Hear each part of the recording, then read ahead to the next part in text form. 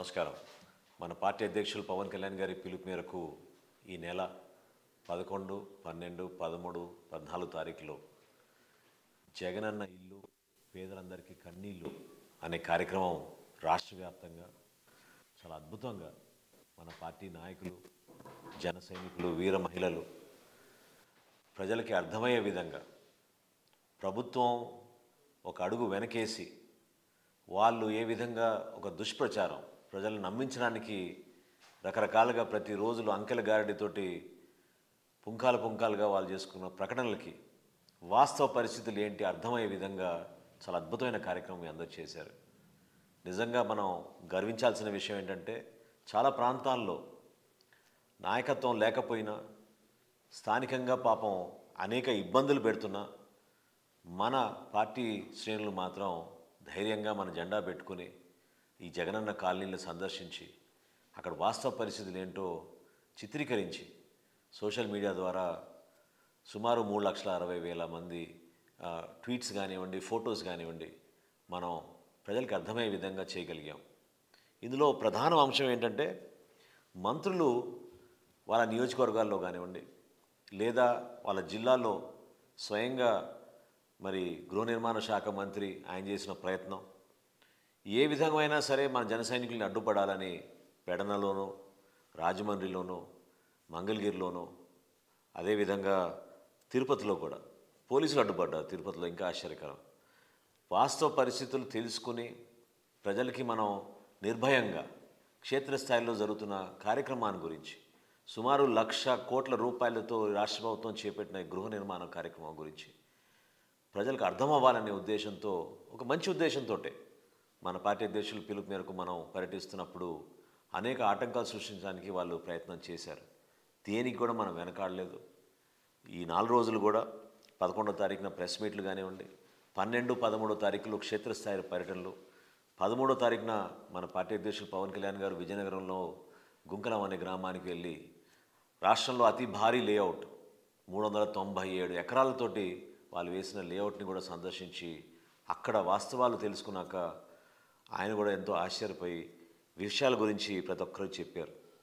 మన బలం మన జనసైనికుల పట్టుదల అదేవిధంగా పార్టీ ఆదేశాల మేరకు చిత్తశుద్ధితోటి ప్రతి ఒక్కరు కూడా ఒక పాజిటివ్ యాటిట్యూడ్ తోటి మన పార్టీ పైన మన పార్టీ అధ్యక్షులు గారి పిలుపు మేరకు నిజాయితీగా నిలబడి ఆ రెండు రోజుల్లో మీరు పర్యటించి వివరాలన్నీ కూడా మనకు అర్థమయ్యేటట్టు మీరు పార్టీ ఆఫీస్ పంపించినందుకు మనస్ఫూర్తిగా పార్టీ ప్రెసిడెంట్ పవన్ కళ్యాణ్ గారి తరఫున జనసేన పార్టీలోనూ ఉన్న ప్రతి ఒక్కరికి పేరు పేరున ఈ సందర్భంగా నేను ధన్యవాదాలు తెలుపుకుంటున్నాను.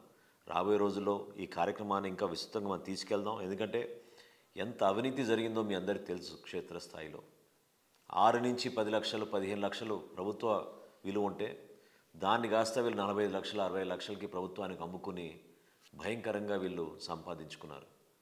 ఈ మంత్రులు చేసిన ఈ ప్రెస్ కాన్ఫరెన్స్ల గురించి వాళ్ళు అంది అందించడానికి చేసిన ప్రయత్నం ఏదైతే సమాచారం వాళ్ళు తీసుకొచ్చారో వాటి గురించి నేను చాలా ఉన్న ఉన్న విషయాలు అందరికి అర్థమయ్యే విధంగా ప్రతి ఒక్కరికి చేరే విధంగా ఇప్పుడు వాటి గురించి కూడా నేను మాట్లాడతాను.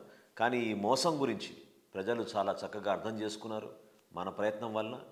తద్వారా ఎవరైతే లబ్ధిదారులు పాపం ఎంతో ఆశతోటి ప్రభుత్వం నుంచి ఒక సెంటు భూమిలో వాళ్ళు ఇల్లు కట్టుకోవడానికి ఆ కలలు కన్నారో. దాని వరకు జనసేన పార్టీ నుంచి మనం మన సంద మన క్షేత్రస్థాయిలో సందర్శించడం వలన అదేవిధంగా టిడ్కో గృహాల దగ్గర ఇంకా విచిత్రం విజయవాడలో అయితే మనం చూసాం మన జక్కంపూడి కాలనీలో చెట్లు కూడా పెరిగిపోయినాయి. అన్ని చోట్ల వాళ్ళు నిర్వీర్యంగా వదిలేసి ఒంగోలులో మన నాయకులు తిరిగినప్పుడు అక్కడ పూర్తి స్థాయిలో వర్షపు నీరు వచ్చేసి నిండిపోయి ఎంత యూస్లెస్గా మారిపోయిందో ఆ ప్రాంతం మనందరం చూస్తూ ఉన్నాం. ఒంగోలు కానీ నెల్లూరులో కానీ టిట్కో గృహాలు అసలు ప్రభుత్వం పూర్తి స్థాయిలో విస్మరించింది ఈ ఈ ప్రక్రియని. వీటి గురించి మనం మాడాల్సిన అవసరం ఖచ్చితంగా ఉంది. ముప్పై లక్షల ఇల్లు కట్టిస్తామన్న ముఖ్యమంత్రి ఈ రోజున ప్రతిరోజు దాన్ని తగ్గించుకుంటూ వచ్చి ఈ రోజున ఇరవై ఒక్క లక్షల మందికే మేము ఇల్లు కడతామని చెప్తున్నారు.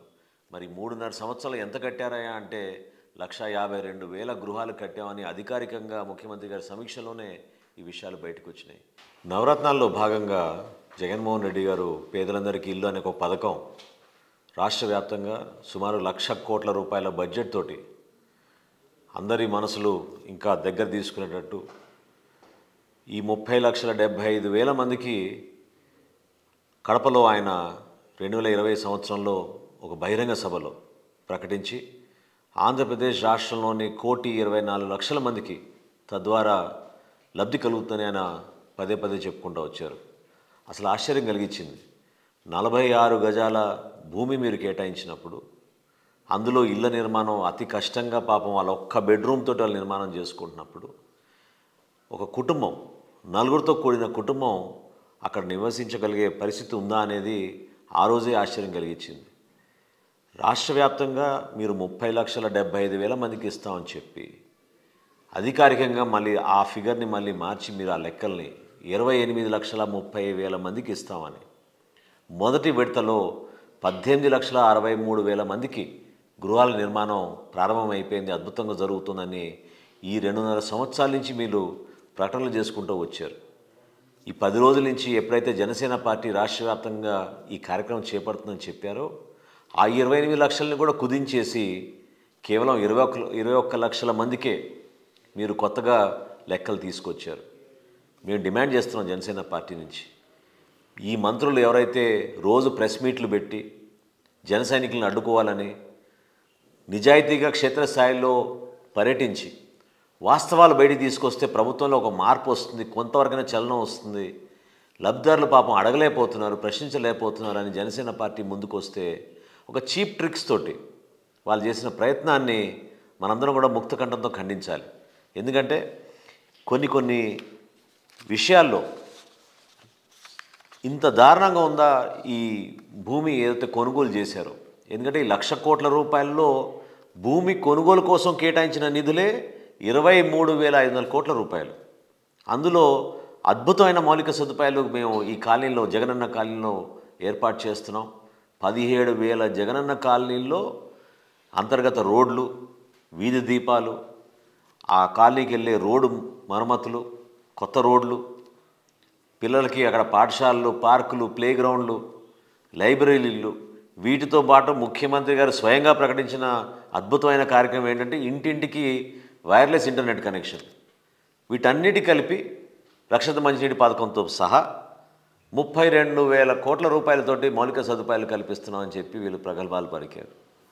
ఇది వాళ్ళు అక్కడ ఏర్పాటు చేసిన మౌలిక సదుపాయాలు. చాలా ఆశ్చర్యం కలిగిస్తోంది. వేమగిరిలో మొత్తం చెరువులాగా కనపడే ఈ ఫోటోలో అక్కడ కేటాయించారు ఇళ్ళ స్థలాలు. అదేవిధంగా మనం ఇంకా ఆశ్చర్యపోవాల్సింది ఏంటంటే నాసి రకమైన కట్టడాలు. ఈ విధంగా వాళ్ళు బేస్మెంట్ వేసుకుంటూ పోతే మన జన సైనికుడు చేయి కూడా పెట్టాడు అక్కడ. అంత గ్యాప్ ఉంది. ఆ విధంగా వీళ్ళు బేస్మెంట్ వేసుకుంటూ పోతే ఈ నాసిరక కట్టడాలతో ఏ విధంగా భవిష్యత్తులో ఆ కుటుంబం అక్కడ నివసించగలుగుతుంది? ఇంకా ఆశ్చర్యం కొన్ని ప్రాంతాల్లో మనం ఈ టిట్కో ఇళ్ళ గృహ ఈ టిట్కో గృహాల నిర్మాణం. ఇది అనంతపూర్లో టిట్కో గృహాల నిర్మాణం. ఇది అక్కడ ఉన్న పురోగతి. నిన్న ఒంగోలులో మన వాళ్ళు ఆ ప్రాంతంలో పర్యటిస్తే వర్షం వచ్చిన నీళ్ళల్లో టిట్కో గృహాలు ఎంత అద్భుతంగా ఉన్నాయో చూడండి. కనీసం లబ్ధిదారులకి అందించాలనే ఒక ప్రయత్నం కూడా ఈ ప్రభుత్వం చేయలేదు. సంవత్సరం నుంచి చెప్తున్నారు.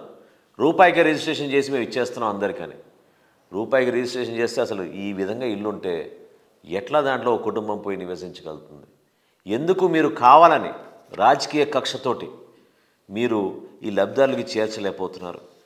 మంత్రులు కూడా చాలా స్పష్టంగా అర్థం చేసుకోవాల్సింది ఏంటంటే జనసేన పార్టీ చేసిన ఈ ప్రయత్నం ప్రభుత్వంలో కొంతవరకైనా కదలిక వచ్చి నిజాయితీగా మీరు ప్రతి ఒక్కరికి ఇళ్ళ నిర్మాణ కార్యక్రమం ముందుకు తీసుకెళ్తారనే నమ్మకంతో మేము ముందుకు వచ్చాం రెండో ముఖ్య అంశం ఈ కాలనీల కోసం వీళ్ళు సేకరించిన భూమి గుంకలమే తీసుకుందాం ఉదాహరణకి నిన్న మన పార్టీ అధ్యక్షులు పవన్ కళ్యాణ్ గారు సందర్శించిన ప్రాంతం. మూడు వందల తొంభై ఏడు ఎకరాలు అక్కడ సేకరించారు. ఇది ప్రభుత్వం ఇచ్చిన లెక్క మనకి.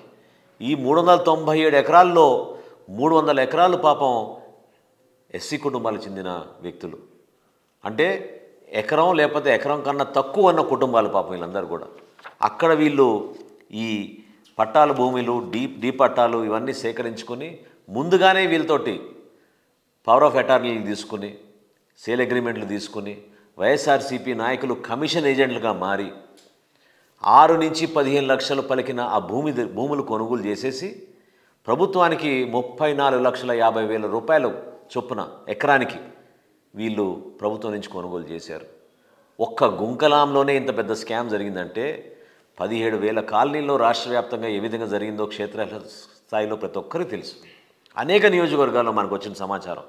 ప్రతి నియోజకవర్గంలో కూడా అక్కడ స్థానికంగా ఉన్న వైఎస్ఆర్సీపీ ప్రతినిధులు కలిసికట్టుగా ఒక టీంలాగా ఫామ్ అయిపోయి ప్రజల్ని ఏ విధంగా మభ్యపెట్టి మోసం చేసి ఈ విధంగా మీకు ఇళ్ళ పట్టాలు ఇస్తున్నామని చెప్పి ఆ ప్రాంతంలో రైతుల దగ్గర నుంచి పాపం నమ్మించి తక్కువ ధరకే కొనుగోలు చేసి ప్రభుత్వానికి అమ్మినప్పుడు మాత్రం అద్భుతంగా సంపాదించుకునే విధంగా వేల కోట్ల రూపాయలతోటి ఇక్కడ అవినీతి జరిగింది. ఈ జనసేన పార్టీ నుంచి మేము ఛాలెంజ్ చేస్తున్నాం ఈ ప్రభుత్వాన్ని. తప్పకుండా మీలో నిజాయితీ ఉంటే ఈ ఏడు లక్షల ఇళ్ళు ఎక్కడ పోయినాయి ముందు దానికి సమాధానం చెప్పండి. ఎందుకు మీరు ఈ లెక్కలు తగ్గించుకుంటూ వచ్చారు? కేంద్ర ప్రభుత్వం మీకు అందించిన ఆర్థిక సహాయాన్ని ఎందుకు మీరు ఉపయోగించుకోలేకపోయారు? మీరు కనీసం మీ వాటా కింద రాష్ట్ర ప్రజలకు ఉపయోగపడే విధంగా మీరు వా- ఇవ్వాల్సిన నిధులు ఎందుకు దీనికి కేటాయించలేదు? రెండోది ఈ పదిహేడు వేల కాలనీల్లో ఎంతవరకు మీరు భూమి కొనుగోలు చేశారు? ఆ వివరాలు బయటికి తీసురండి వాస్తవంలో వాస్తవ పరిస్థితులు ఏంటి? ఆ ప్రాంతాల్లో ఎటువంటి మౌలిక సదుపాయాలు ఉన్నాయి? ఎందుకు మీరు ఆ ప్రాంతాల్లో భూములు కొనుగోలు చేసి ఇంత భారీ ఎత్తున ప్రభుత్వానికి మీరందరూ కూడా అమ్మారనేది ప్రశ్నించాల్సిన అవసరం బాధ్యత మనందరిపైన ఉంది. ఈ స్కీము ఖచ్చితంగా పాపం పేదవాళ్ళు ఎవరైతే ఎదురు చూశారో వాళ్ళు ఎన్నో కలలు కన్నారో. దానికి విరుద్ధంగా ఈ ప్రభుత్వం ఈ కార్యక్రమాన్ని ముందుకు తీసుకెళ్ళింది. ప్రతి ఒక్కరు దీంట్లో బాధ్యత తీసుకోవాలి. కేవలం ప్రెస్ మీట్లు పెట్టి వ్యక్తిగతంగా మీరు దూషించి లేదా మా జన సైనికులపైన దాడులు చేసి క్షేత్రస్థాయిలో పర్యటించి సమాచారం సేకరిస్తుంటే కూడా దాన్ని అడ్డుకొని పోలీస్ యంత్రాంగాన్ని పాపం వాళ్ళని ఇబ్బంది పెట్టి దేనికోసం చేస్తున్నారు ఇది? మీలో నిజాయితీ ఉంటే వీళ్ళందరికీ మీరు త్వరగా ఇల్లు కట్టి మీరు హ్యాండ్ ఓవర్ చేయండి. జూన్ ఇరవై ఇరవై రెండు కల్లా మీరు హ్యాండ్ ఓవర్ చేస్తా అన్నారు. ఏమైంది? ఎక్కడ పోయినాయి ఆ ఇల్లు? ఎందుకు ఈరోజు వరకు మీరు పూర్తి చేయలేకపోతున్నారు? కనీసం గత ప్రభుత్వంలో పూర్తి చేసిన టిడ్కో గృహాలు ఈరోజు కూడా మీరు ఎందుకు హ్యాండ్ ఓవర్ చేయలేదు? ఈ ప్రశ్నలకు సమాధానం మీరు చెప్పాలి. గృహ నిర్మాణంలో కూడా ఎక్కడ పోయినా కూడా మన కాలనీలో నాసిరకమైన కట్టడాలు. పాపం పేదవాళ్ళు ఏమనాలో తెలియక ఎవరిని అడగాలో తెలియక మాట్లాడితే క్యాన్సిల్ చేసేస్తామని నిన్న ఒక మహిళ పాపం విజయనగరం జిల్లాలో మన పార్టీ అధ్యక్షులు పవన్ కళ్యాణ్ గారిని కలవడానికి కారు దగ్గరకు వచ్చి నిలబడినప్పుడు నేను ఆమెని సంప్రదించినప్పుడు ఆమె ఒక వితంతుగా పెన్షన్ వస్తుంది. ఈ ఇళ్ళ పట్ట నాకు ఇచ్చారు. నేను ఇల్లు కట్టుకోలేని పరిస్థితి. ప్రశ్నిస్తే మీ దగ్గరకు వచ్చామని తెలిస్తే మీ పెన్షన్ తీసేస్తామని వాలంటీర్లు బెదిరించారు. కొంతమంది అక్కడ ఇల్లు కడుతుంటే ఆ కట్టడాలు చూసి ఆశ్చర్యపోయాం మనం. అసలు వాస్తవాలు ఏంటి తెలుసుకుంటే సిమెంట్ కూడా చివరికి. ఈ రాష్ట్ర ప్రభుత్వం సిమెంట్ కూడా ఎవరి దగ్గర నుంచి ఎక్కువ కొనుగోలు చేసింది? భారతీయ సిమెంట్స్ నుంచి కొనుగోలు చేశారు ఈ కార్యక్రమానికి. ఇండియా సిమెంట్స్ నుంచి కొనుగోలు చేశారు. నిజంగానే మీలో ఆ మానవత్వం ఉంటే ఆ మన అటువంటి కార్యక్రమం చేయాలనే చిత్తశుద్ధి మీలో ఉంటే ఎందుకు ఈ పేద ప్రజల్ని మీరు ఆదుకోలేకపోయారు? ఎందుకు కేవలం కేంద్ర ప్రభుత్వం ఇచ్చిన లక్ష ఎనభై వేల రూపాయలు ఆర్థిక సహాయం వరకు మీరు పరిమితం చేశారు? ఇసుక కోసం ఎంత ఇబ్బంది పెట్టారు వీళ్ళని? కనీసం అక్కడ ఒక చిన్న గృహ నిర్మాణం కోసం వాళ్ళు ఎంతో తాపత్రపడుతూ పాపం ఏదో కట్టుకుందాం కట్టుకుందాం అనే ప్రయత్నం చేస్తున్నప్పుడు మీలాంటి పెద్ద మనుషులు రాష్ట్రానికి ముఖ్యమంత్రే కాదు మీరు చాలా పెద్ద పారిశ్రామికవేత్త కాబట్టి నిలబడి పది మంది మీతో పాటు సహాయం తీసుకుని ఈ కాలనీ ఈ కాలనీ నిర్మాణం ఇంకా అద్భుతంగా జరిగితే మన రాష్ట్ర ప్రజలకి మేలు జరిగేదని ఈ సందర్భంగా ఖచ్చితంగా మనం మాట్లాడుకోవాల్సిన అవసరం ఉంది. ఈ కార్యక్రమాన్ని ఇంత సక్సెస్ఫుల్ చేసినందుకు పేరు పేరున మిమ్మల్ని అందరినీ కూడా మనస్ఫూర్తిగా మరొకసారి ధన్యవాదాలు తెలుపుకుంటూ సెలవు తీసుకుంటాం